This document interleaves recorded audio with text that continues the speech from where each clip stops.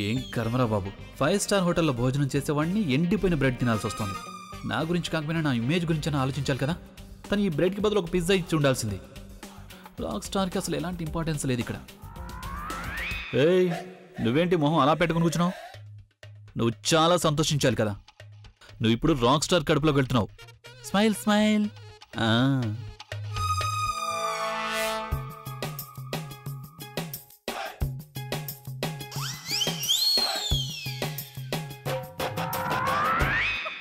నీకు కొంచెం కూడా సిగ్గు అనిపించట్లేదా? మేమంతా ఇక్కడ ఆకలితో చేస్తున్నాం కానీ నువ్వు ఇంత టేస్టీ భోజనం తింటున్నావు. అది కూడా కడుపు నిండా కాదు ట్రే నిండా. నేనెవర్నీ ఆకలితో చావమని చెప్పలేదు. కిచెన్లో బోల్డర్ని సామాన్లు పడున్నాయి. దేవుడు మీకు రెండు చేతులు ఇచ్చాడు కదా. మీరు వెళ్ళండి భోజనం తయారు చేసుకోండి అలాగే తినండి.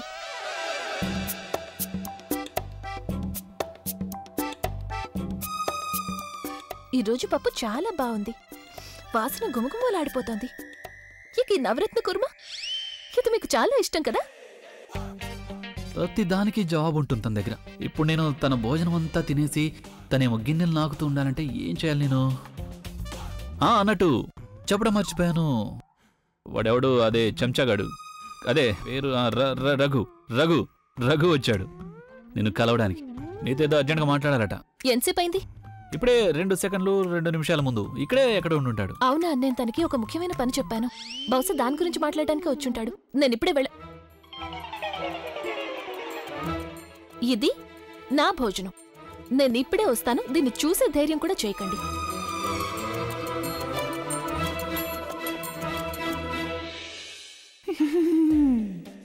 దీనిని చూసే ధైర్యం కూడా చేయకండి. అరే ఇది ఎవరి ముందుంటే అది వాళ్ళదే అవుతుంది. దీన్ని ఎవరు తింటే వాళ్ళ కడుపు నిండుతుంది. నవరతన్ కూర్మా మై ఫేవరెట్ నేను దీన్ని తినేస్తాను.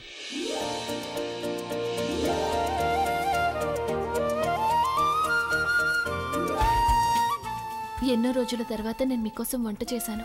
మీ మొహం చూస్తేనే తెలుస్తోంది మీకు బాగా నచ్చింది అని. మీరు కడుపు నిండా తింటే నా కడుపు నిండిపోతుంది.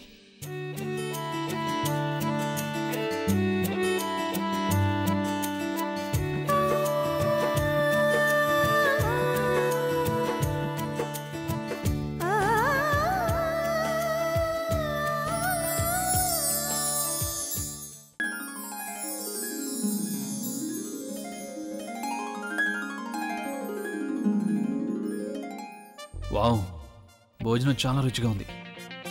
కడుపు నిండిపోయింది నాకు. ఇక నిద్ర వస్తోంది. నేను భోజనం తినేశాను. మిస్ టార్చర్ వచ్చి ఇక గిన్నెలు తోముకుంటుంది.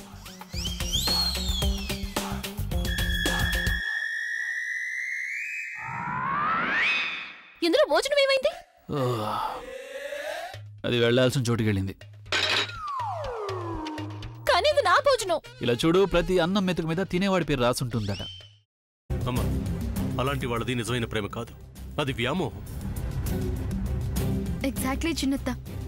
నిజంగా ప్రేమించుకున్న వాళ్ళు అలా చేయరు. హ్మ్. ఎంత మనసు విరిగిపోతే కన్న కూతుర్ని పట్టుకొని మా దృష్టిలో చచ్చిపోయా ఉంటుందా తల్లి? అది సరే అమ్మా. తన కూతురుతో తన మాట అనేటప్పుడు ఆమె మాటల్లో వ్యథా కళ్ళల్లో బాధ గమనించావమ్మా? పెద్దబాబుకు బర్త్డే విషెస్ చెప్పు కూడా వెళ్ళాం కదా. ఊరికే ఎలా కాలిపోతుంది? మంట పెడితేనో పడితేనో తగలబడుతుంది.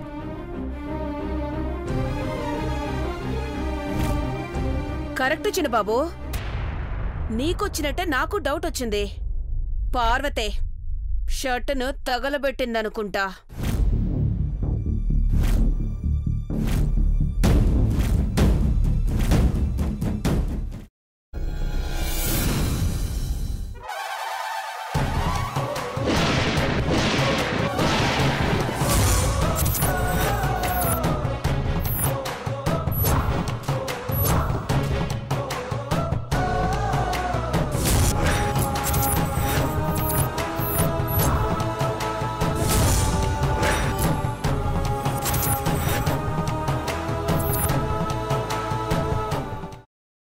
తర్వాత పొట్టు తీసేసి చాప్ చేసి పక్కన పెట్టుకోవాలి.